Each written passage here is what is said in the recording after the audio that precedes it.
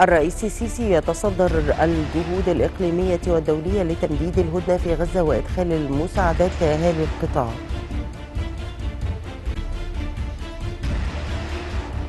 بمشاركة سامح شكري المنتدى الوزاري الثامن للاتحاد من أجل المتوسط يبحث تطورات الأوضاع في قطاع غزة.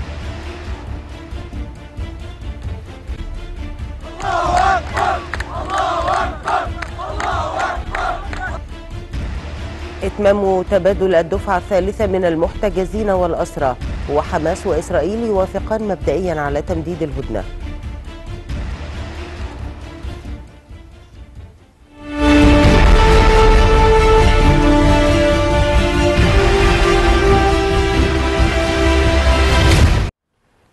أخبار سابعة نشرة إخبارية جديدة تأتيكم من شاشة النيل الأخبار. أهلا بكم. تلقى الرئيس عبد الفتاح السيسي اتصالا هاتفيا من السيد مارك روتا رئيس الوزراء الهولندي الذي أشاد بالجهود المصرية للوصول إلى الهدنة الإنسانية في قطاع غزة. استعرض الرئيس السيسي العمل الجاري لتثبيت الهدنة وضمان نجاح تبادل المحتجزين إلى جانب الجهود المصرية لإدخال المساعدات الإنسانية إلى القطاع وتنظيم عملية استقبال المساعدات الدولية ذات الصلة. وقد اتفق الزعيمان على أهمية تركيز الجهود في الوقت الحالي على تمديد الهدنة مع العمل على التوصل إلى وقف دائم لإطلاق النار والتحرك العاجل لإدخال القدر المطلوب من المساعدات الإنسانية لإغاثة أهالي غزة بما يمهد إلى تسوية عادلة وشاملة للقضية الفلسطينية وتحقيق الأمن والاستقرار في الشرق الأوسط. في وقت سابق توجه الرئيس السيسي بالشكر والتقدير إلى الأمير تميم بن حمد أمير دولة قطر على جهوده المبذولة وفريق عمله التي تكاملت مع الجهود المصرية لإتمام الهدنة الإنسانية في غزة.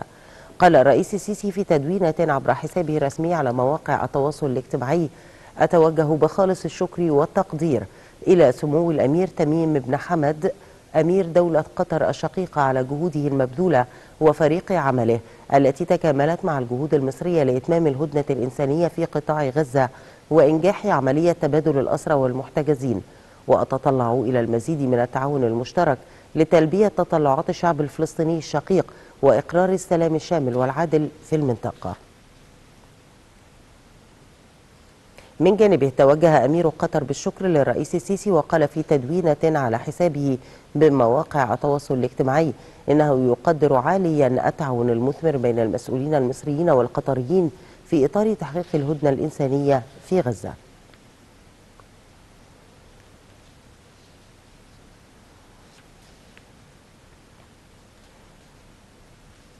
في سياق متصل أكد الرئيس الأمريكي جو بايدن استمرار العمل مع الرئيس عبد الفتاح السيسي وقادة المنطقة لضمان إخراج كل الأسرى وذلك في إطار صفقة تبادل الأسرى بين حركة حماس وإسرائيل. على مدى أسابيع كنت أدعو إلى وقف القتال لغرضين زيادة المساعدات إلى المدنيين في غزة الذين يحتاجون إلى المساعدة وتسهيل إطلاق سراح الرهائن. نعلم أن الأطفال الأبرياء في غزة يعانون أيضا معاناة شديدة. لقد قتل الآلاف ومنذ الأيام الأولى لهذه الأزمة عملت بشكل وثيق مع الرئيس المصري عبد الفتاح السيسي والحكومة الإسرائيلية والملك عبد الله الثاني عاهل الأردن والقادة في جميع أنحاء المنطقة لتوسيع نطاق تقديم المساعدات الإنسانية الحيوية لمساعدة الفلسطينيين الأبرياء المحتاجين الذين ليسوا جزءا من حماس. إن المساعدات التي تمس الحاجة إليها تدخل إلى غزة والرهائن يخرجون منها والهدنة مصممة بحيث يمكن تمديدها لمواصلة البناء على هذه النتائج. هذا هو هدفي. هذا هو هدفنا أن تستمر الهدنة إلى ما بعد يوم الاثنين حتى نتمكن من الاستمرار في رؤية المزيد من الرهائن يخرجون وضخ المزيد من المساعدات الإنسانية إلى المحتاجين في غزة. فالاتفاق يقضي بتمديد الهدنة ليوم عن كل عشرة رهائن يتم إطلاق سراحهم لذلك آمل ألا تكون هذه هي النهاية. ولدي شعور بأن جميع الأطراف في المنطقة حتى الجيران الذين لم يشاركوا بشكل مباشر في مفاوضات الهدنة يبحثون الآن عن طريقة لإنهاء هذا الأمر أي إطلاق سراح جميع الرهائن وألا تصبح حماس مسيطرة على أي جزء من غزة. أود أن أرى استمرار الهدنة ما دام الإفراج عن السجناء مستمرا.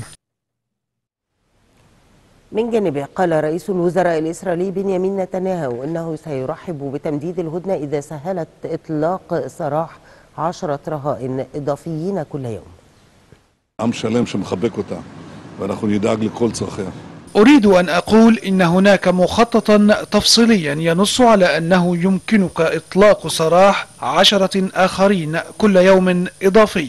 لكن في الوقت نفسه أخبرت الرئيس بايدن أننا في نهاية الخطوط العريضة سنعود بكل قوة لتحقيق أهدافنا وهي القضاء على حماس لضمان عدم عودة غزة إلى ما كانت عليه وبالطبع إطلاق سراح جميع الرهائن.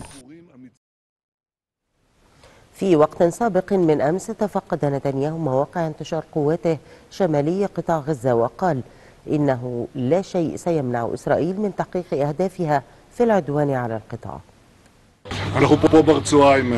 نحن هنا في قطاع غزة مع مقاتلينا الأبطال. نحن نبذل قصارى جهدنا لإعادة الرهائن لدينا. وفي نهاية المطاف سنعيد الجميع.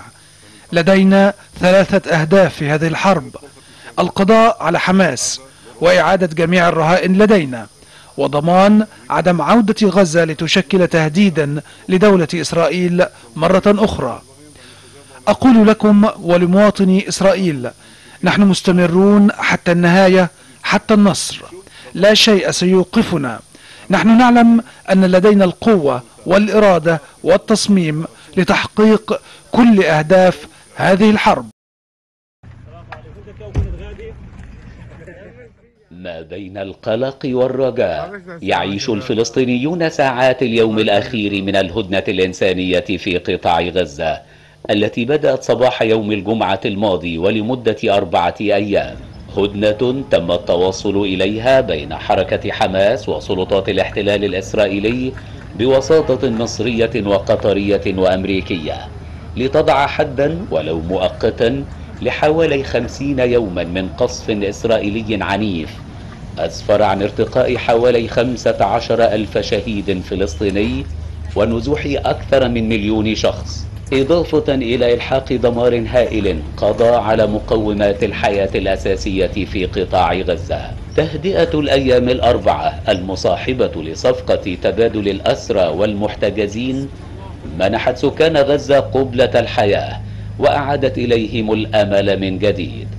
خاصة بعد تردد تصريحات من مختلف الأطراف الفاعلة تشير في مجملها إلى بصيص أمل بإمكانية تمديد الهدنة لأيام أخرى. يعزز تلك الآمال إعلان مصدر مقرب من حماس أن الحركة أبلغت الوسطاء بموافقة الفصائل على تمديد الهدنة الحالية لفترة تتراوح ما بين يومين أو أربعة أيام. مقابل إطلاق سراح ما بين عشرين إلى أربعين من المحتجزين الإسرائيليين. لكن في الوقت نفسه يخشى الفلسطينيون من تعثر تلك الجهود وعودة سلطات الاحتلال الإسرائيلي من جديد إلى آلة الحرب والقتل والدمار خاصة أنه لديهم شبه يقين أن الهدف الرئيس لجيش الاحتلال هو إبادة غزة وليس القضاء على حركة حماس. وتواجه سلطات الاحتلال الإسرائيلي ضغوطا متزايدة لتمديد فترة الهدنة. ففي الداخل تعلو أصوات الإسرائيليين الذين يطالبون بتمديد الهدنة للسماح بالإفراج عن مزيد من أحبائهم المحتجزين لدى حماس. ودوليا تتزايد الضغوط الدبلوماسية وترتفع نبرة الرأي العام الشعبي في مختلف دول العالم التي تطالب سلطات الاحتلال الإسرائيلي بوقف حربها ضد غزة وما ينجم عنها من مأساة إنسانية غير مسبوقة وغير مبررة. كما يرى مراقبون أن الوقت يعمل ضد إسرائيل وأنه كلما طال أمد الحرب نفد صبر المجتمع الدولي. يشارك وزير الخارجية سامح شكري اليوم في المنتدى الوزاري الثامن للاتحاد من أجل المتوسط. والذي يعقد في مدينة برشلونة الإسبانية وقد تم تخصيصه هذا العام لمناقشة بند واحد هو وقف إطلاق النار والتدهور الخطير والكارثة الإنسانية جراء العدوان الإسرائيلي على قطاع غزة يترأس. يترأس المنتدى وزير الخارجية الأردني أيمن الصفدي وجوزيف بوريل الممثل الأعلى للشؤون الخارجية والسياسة الأمنية في الاتحاد الأوروبي تجتمع اللجنة الوزارية العربية الإسلامية خلال تواجدها في برشلونة مع خوسيه مانويل ألباريس وزير خارجية إسبانيا لعرض مخرجات وقرارات القمة العربية الإسلامية الأخيرة إضافة إلى مشاركة اللجنة في المائدة الوزارية المستديرة التي ينظمها المنتدى الوزاري للاتحاد من أجل المتوسط والتي تعقد تحت عنوان تطورات الوضع في إسرائيل وفلسطين غزة والمنطقة.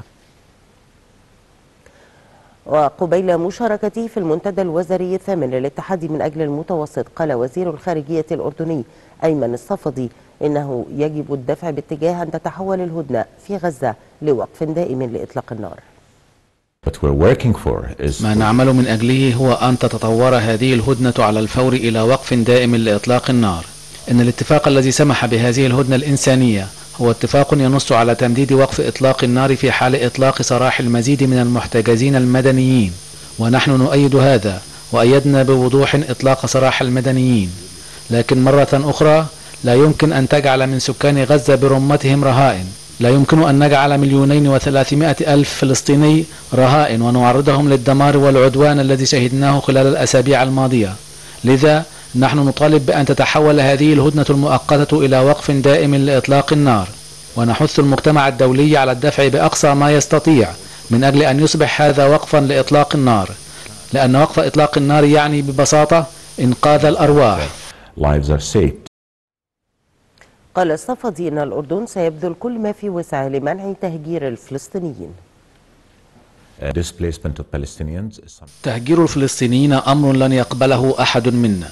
لقد رأينا الفلسطينيين يغادرون منازلهم في عام 1948 ورأيناهم يغادرون منازلهم في عام 1967 ولم يعودوا قط. ونحن نعتقد أن التهجير هو أمر سيزيد من إفراغ فلسطين من أهلها. ونحن في الأردن قلنا هذا خط أحمر لأننا نرى فيه تهديدا لأمننا القومي وسنبذل كل ما في وسعنا لمنع حدوث ذلك. أعلنت سلط- سلطات السجون الإسرائيلية أمس الإفراج عن 39 أسيرا فلسطينيا بموجب اتفاق الهدنة في اليوم الثالث للهدنة بين إسرائيل وحركة حماس. من سجون مجدو وجلبوع والدامون وعوفر النقب ورامون ونفحة في صحراء النقب بإسرائيل خرجت سيارات الأسرى الفلسطينيين المحررين في الدفعة الثالثة من اتفاق التهدئة المؤقت مع حركة حماس. وقد أعلنت إدارة السجون في الاحتلال الإسرائيلي الإفراج عن 39 أسيرا فلسطينيا بموجب الاتفاق الذي تم التوصل إليه بين الطرفين برعاية مصرية وقطرية. من جانبها أعلنت هيئة شؤون الأسرى والمحررين الفلسطينيين ونادي الأسير الفلسطيني أن الدفعة الثالثة من المعتقلين تشمل 39 طفلا. وعقب تسليمهم وصل الأسرى المحررون إلى الضفة الغربية وكان في انتظارهم الآلاف من المواطنين للاحتفال بتحريرهم. وفي الدفعة الأولى أفرجت كتائب القسام عن 24 محتجزا وتشمل 13 إسرائيليا بالإضافة إلى 10 تايلانديين وفلبيني لم يكونوا جزءا من الاتفاق في مقابل الإفراج عن 39 أسيرا فلسطينيا وفي الدفعة الثانية أفرجت سلطات الاحتلال عن 17 فلسطينيا وتشمل 13 إسرائيليا بالإضافة إلى أربعة تايلانديين لم يكونوا جزءا من الاتفاق في مقابل الإفراج عن 39 أسيرا فلسطينيا وقد اتفق خلال التهدئة ومدتها أربعة أيام على أن تفرج حماس عن خمسين من المحتجزين الإسرائيليين بعضهم من حملة جنسيات مزدوجة مقابل الإفراج عن 150 أسيرا فلسطينيا في وقت سابق أكدت رئاسة الوزراء الإسرائيلية استلام 13 إسرائيليا بعد إطلاق سراحهم في قطاع غزة من بينهم أربع نساء ورجل إضافة إلى تسعة قُصّر. استكمالا لاتفاق التهدئة المؤقت بين حركة حماس والاحتلال الإسرائيلي وصلت الدفعة الثالثة من المحتجزين الإسرائيليين لدى حماس إلى إسرائيل على أمل في استمرار التهدئة وتبادل المحتجزين والأسرى بين الجانبين. جيش الاحتلال الإسرائيلي أعلن أن ثلاث عشرة رهينة وصلت إلى إسرائيل. وكالمعتاد سلم ممثل الصليب الأحمر 12 محتجزا إلى قوة من وحدة النخبة في جيش الاحتلال وقوة من الشباك بالقرب من السياج الحدودي في وسط قطاع غزة. ووصلت المجموعة إلى قاعدة حتسريم العسكرية. ومن ثم الخضوع إلى تحقيقات وفحص طبي أولي قبل وصولهم إلى منازلهم.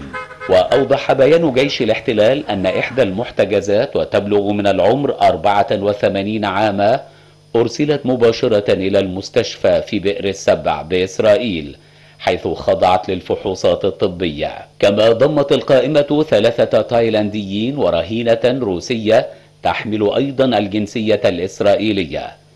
وأعلنت حماس أن الإفراج عنها جاء استجابة لجهود الرئيس الروسي فلاديمير بوتين وتقديرا للموقف الروسي الداعم للقضية الفلسطينية. وقالت مصادر مطلعة من حركة حماس إن عملية تسليم الأسرى للصليب الأحمر تمت في ميدان فلسطين قرب مستشفى المعمداني في وسط البلدة القديمة في حي الزيتون في قطاع غزة. وبحسب القائمة الصادرة عن مكتب رئيس الوزراء الإسرائيلي فإن تسعة أطفال وأربع نساء من بين الإسرائيليين المفرج عنهم من بينهم طفلة تبلغ أربعة أعوام تحمل الجنسية الأمريكية. أكدت وكالة الأمم المتحدة لغوث وتشغيل اللاجئين الفلسطينيين الأونروا أكدت أن الوضع الإنساني في قطاع غزة مأساوي وأن الهدنة الإنسانية الحالية كشفت الوضع داخل القطاع. رغم الهدوء الذي يسوده بعد سريان الهدنة لا يزال قطاع غزة يعاني من تداعيات العدوان الإسرائيلي حيث بلغ عدد المقرات الحكومية المدمرة حوالي 100 مقر حكومي و266 مدرسة. أما بالنسبة لحجم الدمار فبالنسبة للوحدات السكنية فقد بلغ عدد الوحدات التي تعرضت إلى هدم كلي 43 ألف وحدة سكنية. إضافة إلى 225 ألف وحدة سكنية تعرضت للهدم الجزئي. وفي ظل تركيز واستهداف جيش الاحتلال الإسرائيلي للمستشفيات بشكل خاص وتهديد الطواقم الطبية فقد خرج عن الخدمة نتيجة للعدوان الإسرائيلي 25 مستشفى و52 مركزا صحيا. كما استهدفت سلطات الاحتلال 55 سيارة إسعاف فيما خرجت عشرات سيارات الإسعاف عن الخدمة. وعن تقديم الخدمات الإنسانية للاجئين تدير وكالة الأونروا مخيمات اللاجئين الثمانية في قطاع غزة. كما تدير الوكالة 26 مدرسة ومركزين صحيين في مخيم جباليا. وبحسب الأونروا تستضيف هذه المنشآت 813 ألف نازح من أصل حوالي مليون وخمسة وستين ألف شخص نزحوا في غزة منذ اندلاع الحرب. بدوره أعلن مكتب الإعلام الحكومي في قطاع غزة ارتفاع عدد الشهداء منذ بداية الحرب في السابع من شهر أكتوبر الماضي إلى حوالي 15 ألف شهيد من بينهم أكثر من ستة آلاف طفل وأربعة آلاف امرأة. الأمر الذي يعني أن حوالي 69% من الشهداء هم من فئتي الأطفال والنساء. أما عدد الجرحى فقد بلغ أكثر من 36 ألف شخص أكثر من ثلثيهم أطفال ونساء فيما بلغ عدد المفقودين حوالي سبعة آلاف شخص. وصلت خمس طائرات مساعدات إلى مطار العريش ثلاثة ثلاث من قطر وطائرتان من السعودية وبلجيكا تمهيدا لنقل حمولاتهم إلى قطاع غزة.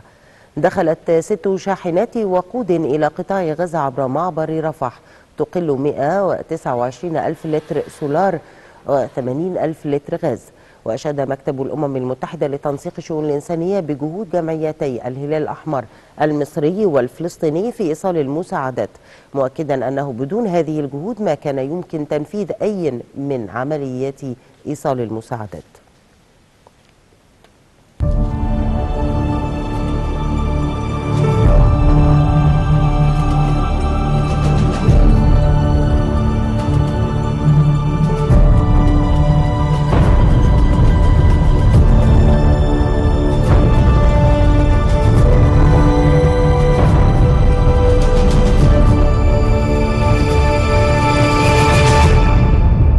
عقوبة رفح بإذن الله لإخواتنا الفلسطينيين.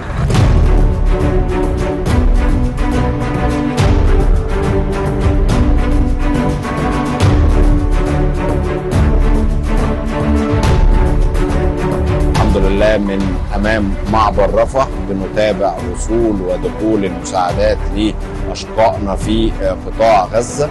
197 شاحنة محملة بكل الاحتياجات تحيا مصر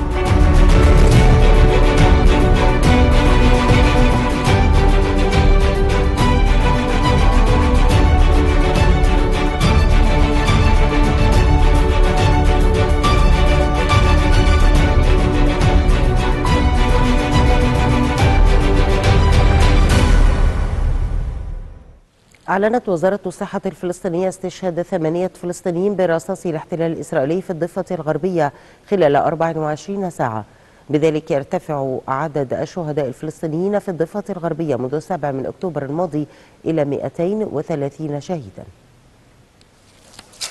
الهدوء الحذر في غزة يقابله تصعيد إسرائيلي في الضفة الغربية. أسفر عن استشهاد ثمانية فلسطينيين خلال ساعة قليلة بين ليل السبت وصباح الأحد.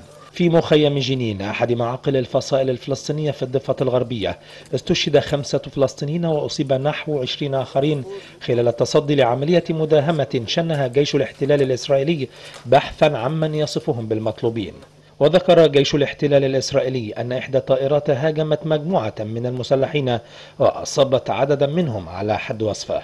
وقالت كتيبة جنين التي تضم فصائل متعددة إن مقاتليها خاضوا اشتباكات ضد القوات الإسرائيلية التي اقتحمت المدينة من عدة محاور وسط إطلاق الأعيرة النارية في كل اتجاه. كما حاصرت قوات الاحتلال الإسرائيلي المستشفى الحكومي ومقر جمعية الهلال الأحمر في مدينة جنين. وعم الإضراب الشامل مدينة جنين ومخيمها بدعوة من الفصائل حدادا على أرواح الشهداء. وفي نابلس والبيرة استشهد فلسطينيان أحدهما طفل برصاص قوات الاحتلال الإسرائيلي ومن قبلهما استشهد طبيب برصاص قوات الاحتلال أيضا في بلدة قباطيا ومنذ مطلع العام الجاري تشهد الضفة الغربية تصعيدا في الاعتداءات الإسرائيلية لكن هذه الوتيرة زادت اشتعالا سواء من جانب جيش الاحتلال أو المستوطنين منذ بدء الحرب على غزة في السابع من أكتوبر الماضي. ومن السابع من أكتوبر الماضي وحتى الآن استشهد نحو 230 فلسطينيا وأصيب ما يقارب من ثلاثة آلاف آخرين كما قتل أربعة إسرائيليين في الضفة الغربية. في ختام هذه النشرة هذا تذكير بأهم ما جاء بها من أخبار. الرئيس السيسي يتصدر الجهود الإقليمية والدولية لتمديد الهدنة في غزة وإدخال المساعدات لأهالي القطاع. بمشاركة سامح شكري المنتدى الوزاري الثامن للاتحاد من أجل المتوسط. يبحث تطورات الأوضاع في قطاع غزة. الله أكبر الله أكبر الله أكبر إتمام تبادل الدفعة الثالثة من المحتجزين والأسرى. وحماس وإسرائيل يوافقان مبدئيا على تمديد الهدنة. للمزيد من التفاصيل زوروا موقعنا على الإنترنت نايل دوت إي جي. إلى اللقاء.